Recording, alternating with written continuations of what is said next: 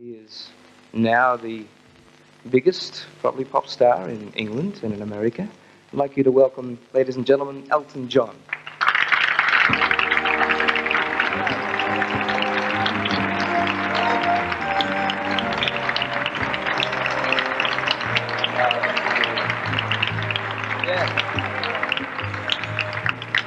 There you go.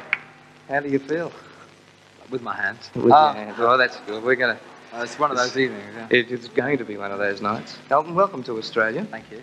Um, we were talking before Johnny Farnham, who was probably uh, one of the main contenders for the King of Pop, and Normie Rowe, who started the crown off about three years ago.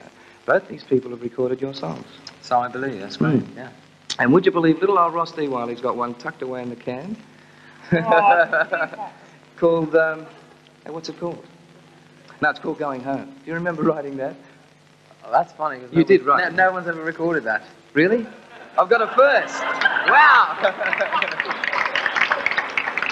No, it's a, it's a really good song, but it's a, I've been doing ballads ever since I started recording, and uh, I don't know how I'll go on a rock and roll song. well, there you go. Well, I haven't. have a try. I'll send you a demo of it. Send me, send me a copy. of it. Yeah, money, isn't it? it's all money.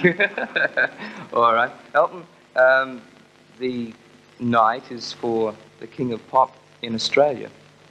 And TV Week, in all their wisdom, have uh, donated or have given you an award for the International King of Pop. Oh. Won't that be good? All right, what do you say?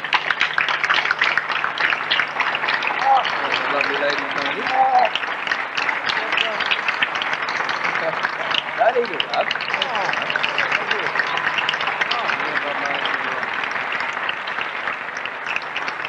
It's a large tuning fork. That's the first time I've seen her. That was good. Um, is that all you have to say, Elton? You- That's fantastic. Is I that- can't believe it. King of Pop 1971. Well, there you go. international. That's great. Too much. Fabulous. Really great. Could've- What else can I say? Thank you very much. Elton really John, ladies and gentlemen, Thank thank you, very much. Tony, we'll thank you, darling. All right.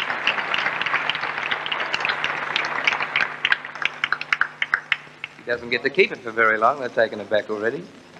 All right. The uh, we'll get on with the, the This business is, at This hand. is really exciting. I've seen all those sort of in England all those beauty contests when and, and the winner And sort of opens an envelope and they say, "Well, there you go," and that's really exciting. I All. Well, wait a second. Oh, Wait a second. He's so excited. So he's, got, he's got me. He's got me going. Elton, these are the nominees for the Best Australian Songwriter. And they go like this Russell Morris.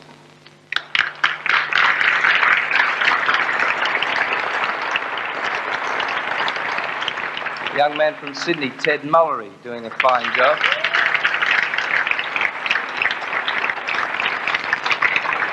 Our little favourite, Hans Poulsen.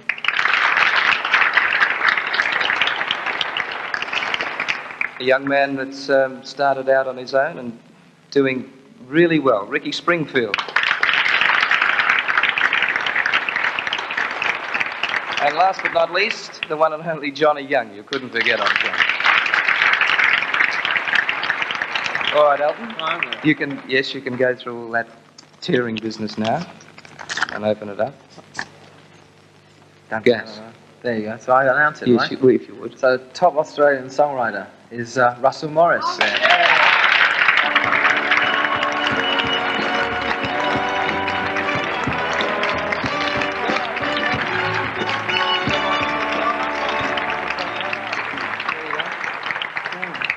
There we go. The best songwriter for 1971, Russell Morris. I wouldn't say the best. Ah, you always said that, right?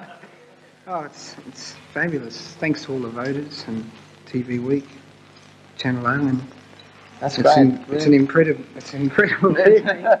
if I can borrow that, perhaps I can get a pair of high heel shoes, mate. it's a real thrill to receive it from someone like like you, Elton. Oh, Thanks very much. well, it's a pleasure. Great. Russell Morris, ladies and gentlemen. Right. Thank you, sir.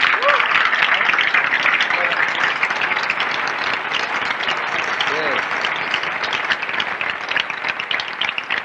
We've got uh, in our country, as you have in yours, an incredible amount of talents. Well, we think so anyway.